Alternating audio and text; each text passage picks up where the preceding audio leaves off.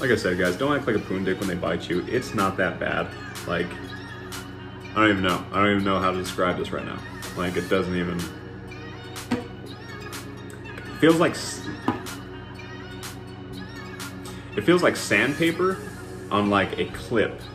You know what I'm saying? Like if you got like a clip, like one of those like paper fucking like, like I need to hold like stack of paper and you put like uh, grade sandpaper and just clip it on your finger. The best way I can describe it, at least at this size. Now that will change when the brew is the size. It does not feel like that. A lot more pressure, a lot more little shit gobbliness.